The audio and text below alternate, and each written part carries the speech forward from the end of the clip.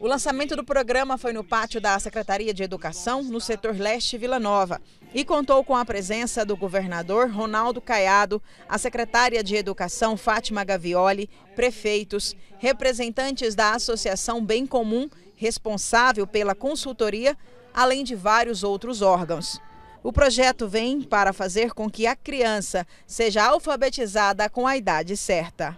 Nós temos hoje, para se ter uma ideia, no teste de fluência, 90% das nossas crianças no segundo ano do ensino fundamental são analfabetas.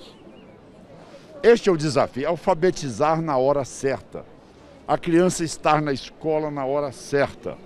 Ter toda uma metodologia para que haja uma continuidade desde o dia que ela entrou na escola até finalizar o ensino médio. Representantes de mais de 200 prefeituras já assinaram o pacto em favor da alfabetização através do site alfamais.educação.gov.go.br. O programa já vai funcionar no início do ano letivo de 2022 e deve alcançar mais de 200 mil estudantes e 8 mil profissionais da educação em todo o território goiano.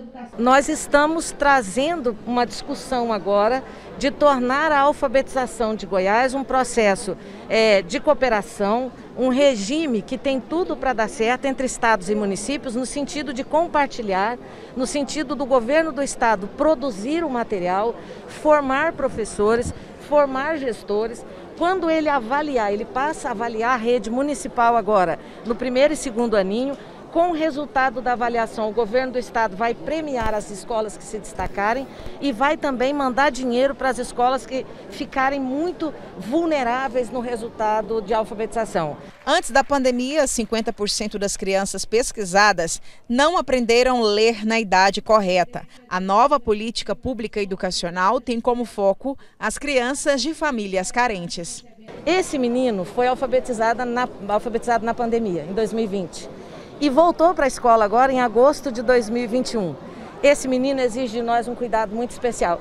Eu fico pensando os governos que não se atentaram para isso, o que, que vai ser da alfabetização daqui para frente. A alfabetização no Brasil é uma tragédia silenciosa. Na última medição que a gente teve, 50% de todas as crianças que estão na escola não são alfabetizadas na idade certa e a gente não dá atenção como país como deveria para esse problema. E para resolver essa questão da alfabetização, é importante não um programa, um pequeno projeto, mas uma política pública estruturante que consiga mexer em todas as variáveis necessárias para realmente alfabetizar as crianças. O programa será fiscalizado de perto em cada cidade. O governo do estado já contratou dois é, supervisores para cada prefeito que está aqui. Cada prefeito que está aqui hoje, na alfabetização, tem dois supervisores pagos pelo governo do estado. E quem, a quem eles se reportarão?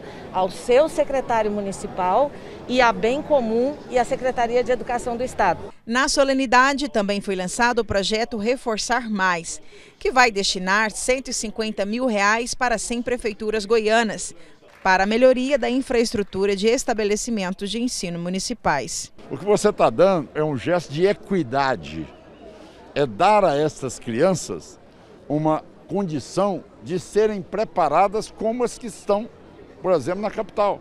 As prefeituras que ainda não fizeram o cadastro podem pedir a adesão ao projeto por meio de ofício endereçado à Secretaria de Estado da Educação.